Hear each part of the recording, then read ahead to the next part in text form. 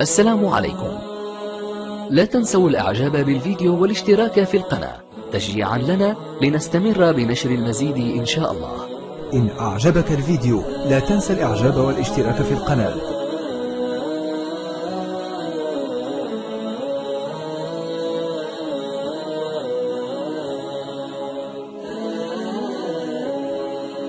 السلام عليكم. لا تنسوا الإعجاب بالفيديو والاشتراك في القناة. تشجيعا لنا لنستمر بنشر المزيد إن شاء الله.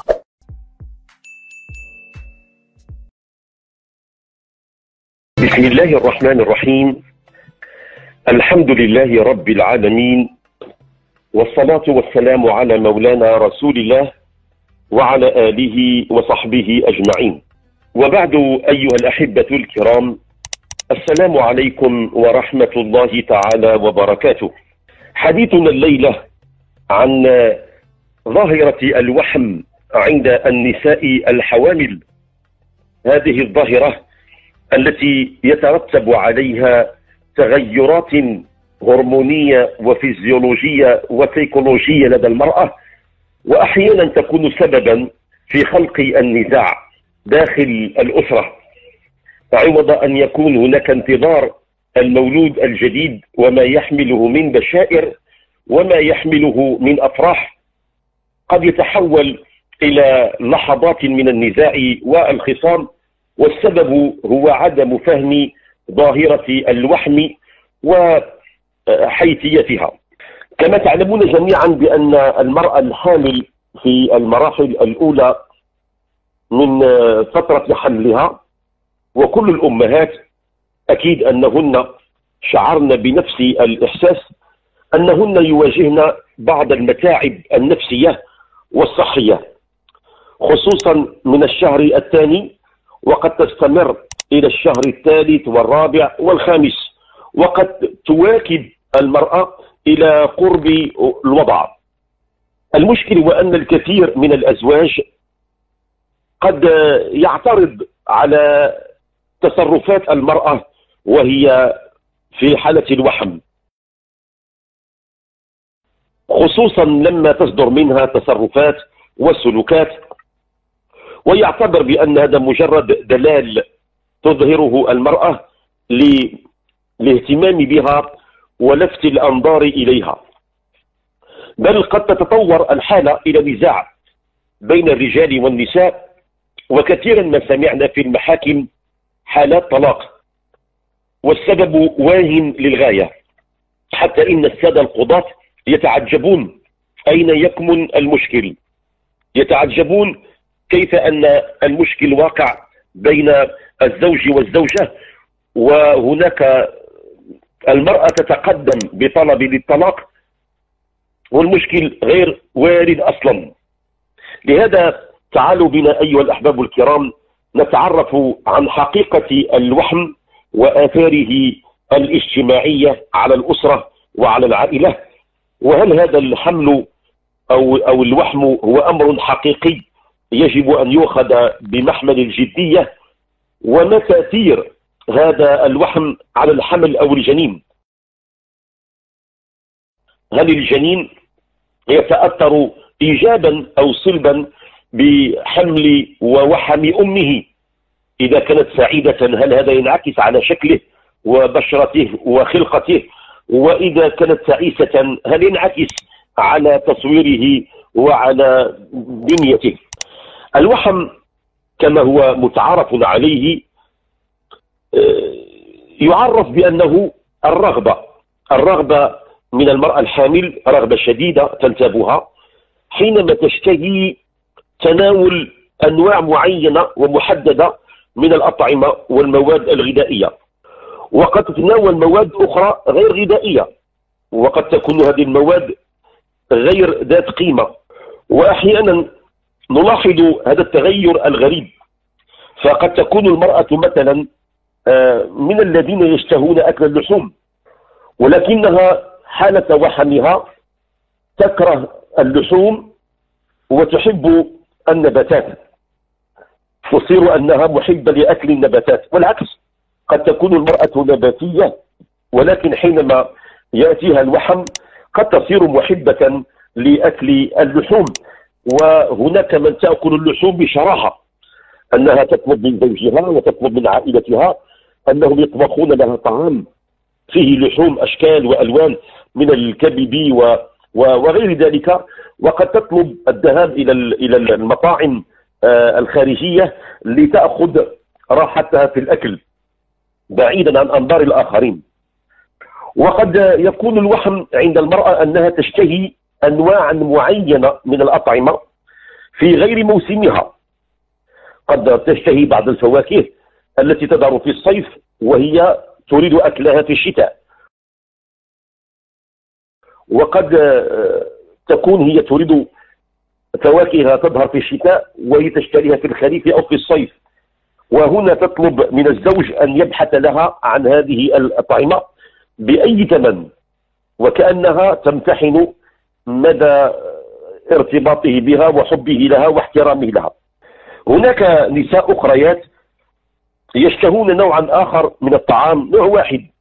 قد يكون هناك تناول نوع معين من الشوكولاتة.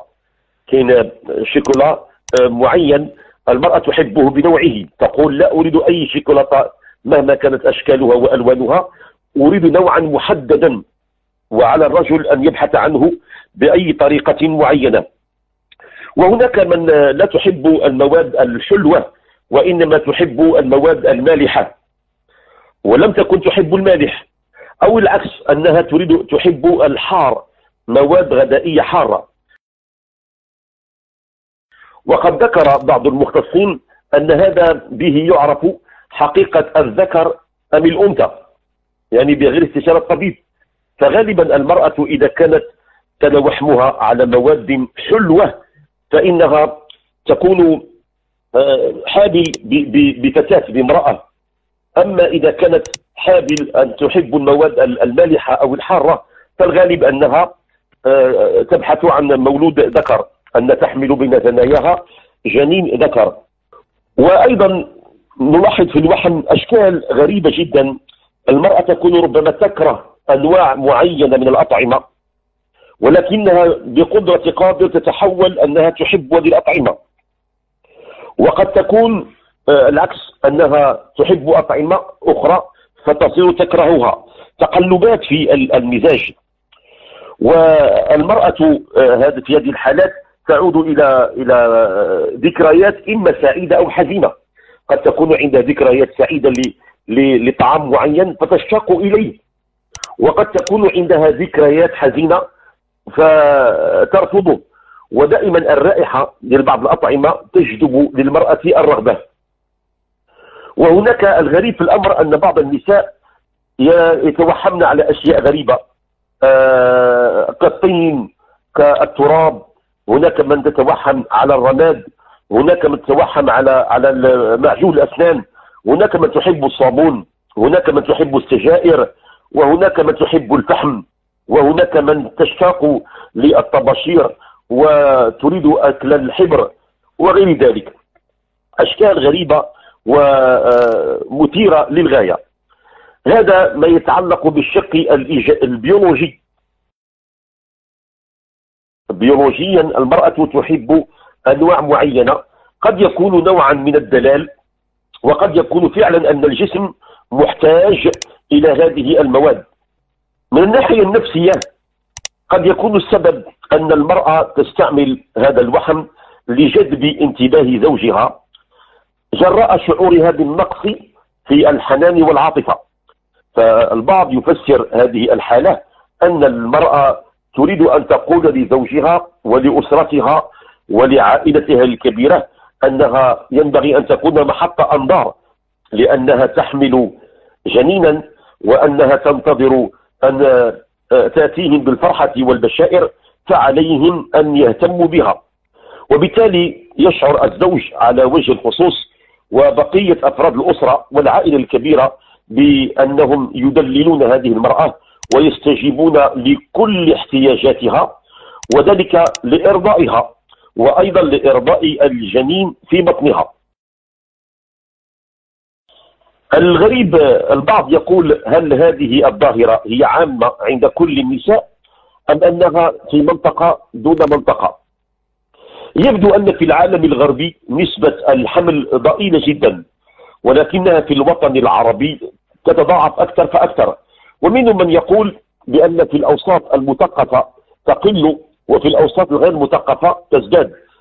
لكن يبدو بأن حتى النساء المثقفات يشعرن أحيانا بنوع من الحزن ينتابهن أثناء الوحم. إما الخوف من من تحمل المسؤولية أو الخوف من الإنجاب وكذلك الخوف من أن جسمها سوف يتغير. هناك بعض النساء عندهن قداسة كبيرة لأجسامهن. تريد أن تبقى دائما شابة وغضة لكنها مع الحمل والوحم والولادة أكيد سوف يزداد وزنها وقد تتعرض لبعض الترهل وقد تظن بأن زوجها لم يعد ينتبه إليها. هذا الخوف الذي ينتاب بعض النساء حتى المثقفات منهن يشعرن بشيء من ذلك.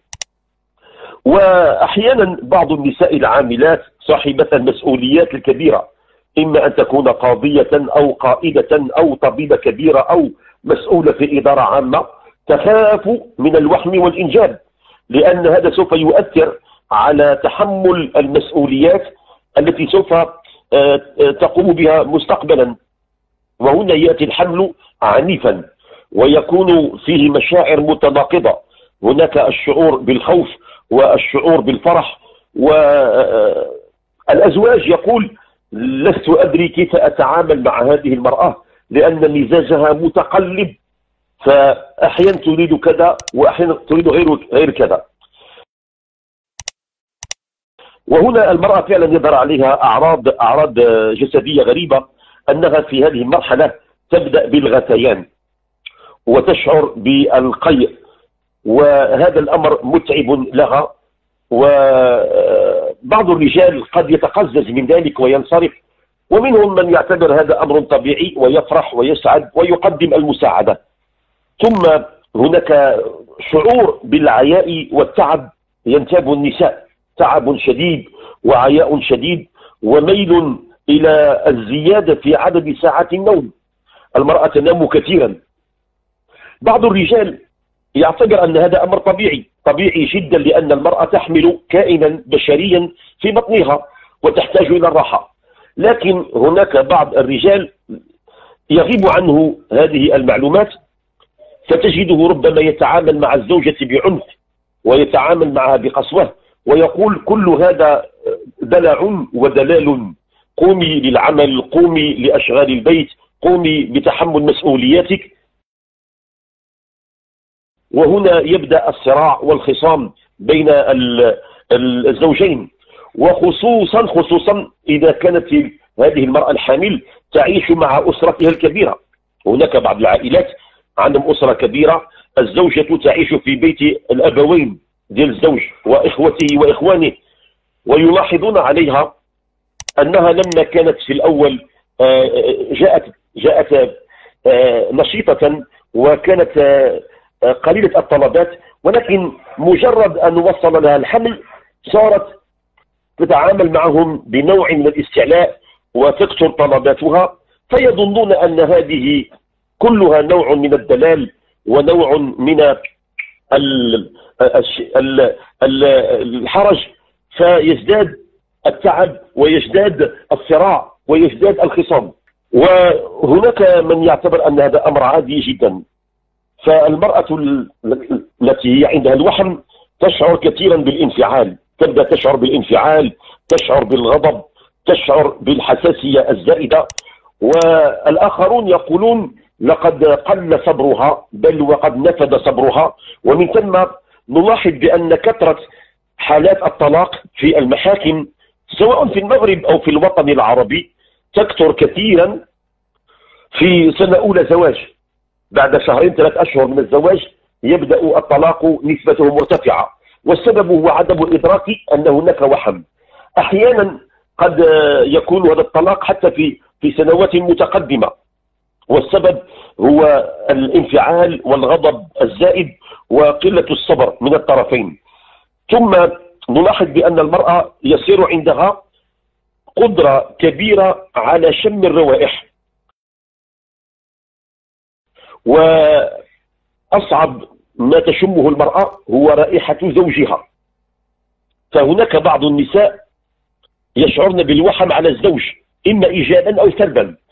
الإيجاب أن المرأة يبدو لها زوجها بأنه أجمل إنسان فوق هذه الأرض وتتعلق به أكثر وتغار عليه حتى من الرياح تغار عليه من من من محادثات النساء ومن كلام الجيران والأقارب. وتراه كأنه وحيد زمانه وفريد زمانه. وقد يتضايق الزوج من هذه المعاملة وهذه الغير الزائدة. وقد تكون هذه الوحم بالطريقة السلبية أن المرأة تكره زوجها. وكلما شعرت بالألم وبالتعب تقول أنت السبب. ثم إنها تشم رائحة رائحة كريهة في الزوج رغم أنه يستحم ورغم أنه يتطيب. ولكن مع كل هذا المرأة تشعر دائما بأن هذا الزوج فيه رائحة كريهة وأنه لا تطاق ومن ثم يقع كثيرا نزاع بين الطرفين. ثم هناك بعض النسوة وهن في مرحلة الوحم تميل إلى العزلة وتميل إلى الانطواء وتنكفئ على الذات ويكون عندها قلة الكلام. ومن ثم يركبها الوسواس لأن كل من رأيناه منزويا منطويا منعزلا قليل الكلام. في الغالب هذا إما أن يكون ولي من أولياء الله الصالحين كالأولياء حينما يسيرون إلى العزلة وإما أن يكون إنسان عادي قد تسلط عليه الوسواس القهري. فيبدأ دائما عنده أفكار وصراعات نفسية آه، كبيرة جدا. قد نتساءل ما أسباب هذا الوحم في الحمل؟ السبب ببساطة هي أن الجسم ديال المرأة يحتاج إلى بعض المواد. عنده نقصان في بعض المواد إما فيتامينات أو معادن. ومن ثم هناك بعض النسوة يشعرن برغبة كبيرة في شرب الحليب. وهذا سببه نقصان في معدن الكالسيوم. وقد يكون عند بعض النساء آه، رغبة كبيرة في أكل أنواع أخرى إما الشوكولاتة أو كذا. فمحتاجة إلى إلى إلى السكريات. وقد تكون تشتاق إلى الأسماك محتاجة إلى الفوسفور وأحيانا تحب اللحوم بشراهة. محتاجة إلى أن جسمها ينقصه بعض المواد. ومنهن من تحب الفواكه الحمضيات إما البرتقال وإما المشمش وغيرها. كل هذا يدل على أن المرأة عندها نقصان في جسمها وفي بنية المولود ولهذا تحتاج إلى تكملة هذا النقصان. قد تشتهي بعض النساء أيضا الطين أو تشتهي الغاز أو تشتهي السجائر أو معجون الأسنان كل هذا قد يضر بجسمها لأن المرأة إذا تناولت شيئا غريبا لابد من استشارة الطبيب لأن قد تأكل مواد سامة تضر بالأم وتضر بالجنين. فوجب استشارة الطبيب للتأكد من حالتها. هناك من يظن بأن المرأة إذا أكلت أو توحمت على بعض المواد التي هي طيبة المولود يأتي جميل ببشرته وشعره ولون عينيه. إذا كانت أكلت مثلا البرتقال أو حبل الملوك أو أو أي فاكهة جميلة. في حين إذا أكلت مواد أخرى كالطين والجير والغاز والسجائر أو التراب والرماد آه، فكل هذا قد يؤدي بها إلى أنها آه، المولود قد يكون غير وسيم في شكله أو فيه عيوب في في خلقته وشعره وبشرته ولون عينيه وفي أعضائه. كنلاحظوا بعض النساء كياكلوا كثير الجير. الجير لأن هناك مادة ديال الكالسيوم ناقصة في الجسم والطفل يحتاج إلى قوة عضلات. فالوحم له تأثير قوي على على المرأة ولكن الذي يؤثر أكثر وهو حينما تقوم بعض الأمهات تظن بأن ابنتها محتاجة إلى طعام جيد فتحضر لها أشكال وأصناف مختلفة من الطعام من الحمام واللحم فتأكل أكثر من اللازم فتصاب بالسمنة. والسمنة هي قادمة يعني بعد الوضع وبعد الرضاع تأتي السمنة الطبيعية لأن هناك إفرازات ديال تطور الهرمونات. فتبدأ المرأة تأكل بشراهة أكثر وقد تصاب بالألم الشديد. الذي هو أساسي أن نعرفه في فترة الوحم هي أن هناك تغييرات فيزيولوجية تقع على المرأة. ونحن ننتظر المولود الذي سوف يأتي بالبشارة ويأتي بالفرح والسرور. هناك عائلات تكون محظوظة ربنا يوفقها. فتعلم هذه التغيرات عند المرأة فتأخذها بالتي هي أحسن ويبقى الشمل مجموع وتزداد الفرحة أفراح متعددات.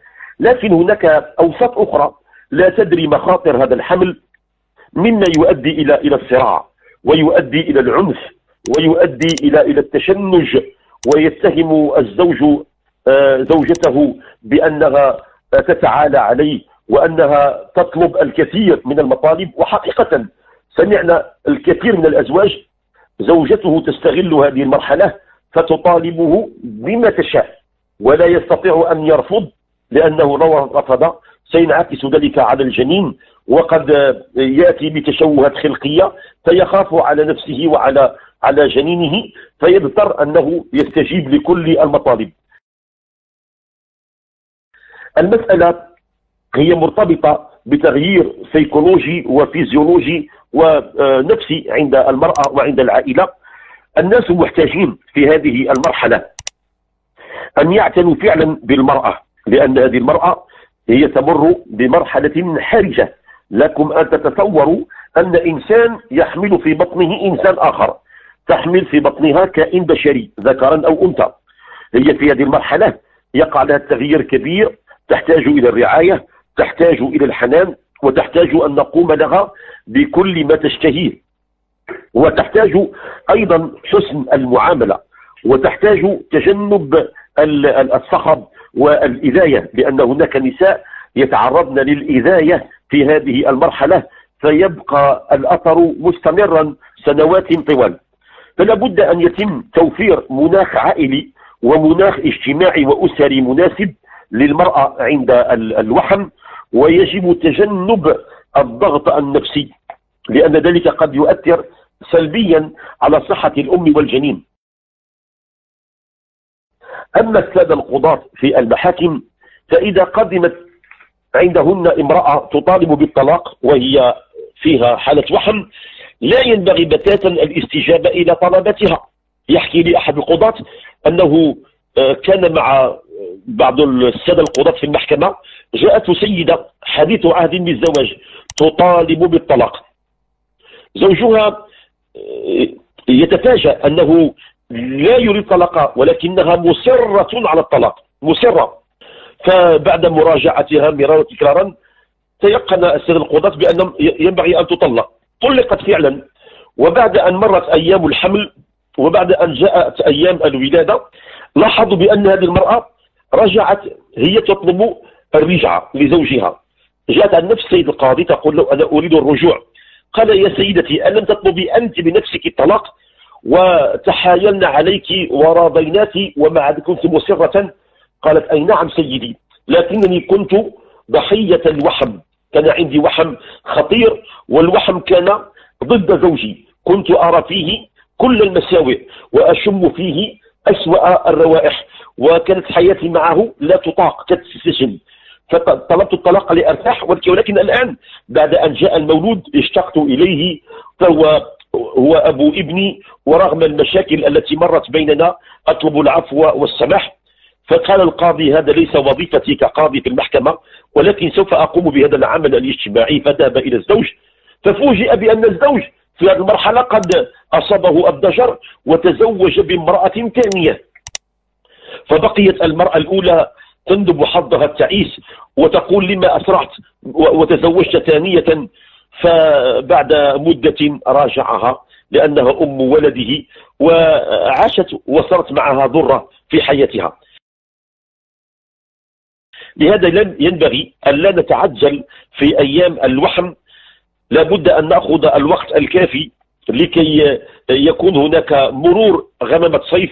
وحبذا لو أنه تم أن العزلة بين الزوج والزوجة إذا وقع بينهما صراع. أن الزوجة تمكث في بيت عائلتها والزوج في بيت عائلته أو يسافر بعيدا عنها ريثما تمر العاصفة ثم تعود المياه إلى مجاريها. وكل هذا ينعكس على الجنين. فإذا رأينا المولود الجميل الوسيم الخلوق اعلم بأنه مر بمرحلة طيبة في الوحم وأنه كان كان كان حتى أن هناك مدرسة في علم النفس السلوك الاجتماعي تفسر سلوك الإنسان بماذا كانت أمه تتوحم يقول لك طبيب سول أمك علاش تتوحم يقول لك تتوحم على حب البحر. فيجد هذا المولود لما يكبر ميال إلى البحر. قد تقول له كان كانت تحب الشاي فيصير مدمن على الشاي. قد تكون أنها تحب السجائر. فيصير مدمن السجائر. قد تكون مدمنة على حب القرآن وسماع القرآن فيصير يتشوق على القران لأن عنده تاثير على الجنين على المستوى البعيد بعد أن يكبر. نسأل الله تعالى أن يبارك في الجميع ويحفظ الجميع وأسأل الله تعالى أن ينبهنا بأخطائنا. وهذه فرصة أيها الأحباب الكرام أطرح عليكم السؤال حدثونا وإحكوا لنا عن تجاربكم مع الحمل ومع الوحم ومع العلاقات العائلية هل كانت سعيدة؟ هل كانت منسجمة؟ أم كان فيها تشنج وكان فيها غضب وانزعاج ربما لكل عائلة لها تجربة مختلفة عن الأخرى. نريد أن نستمع إلى التجارب المختلفات لنستفيد ونخرج بقناعة حتى يكون بناتنا الصاعدات لا يقعن في مثل هذه الأخطاء التي وقع فيها الكبار. أرقامنا مفتوحة في وجه الجميع وهي 05 22 88 00 60 أو 61 أو 62 أو الرقم الهاتفي 05 22 46 72 50 أو 51 أو 52 ونبقى مع فاصل قصير ثم نعود لنواصل. فابقوا معنا. السلام عليكم. لا تنسوا الإعجاب بالفيديو والاشتراك في القناة تشجيعا لنا لنستمر بنشر المزيد إن شاء الله.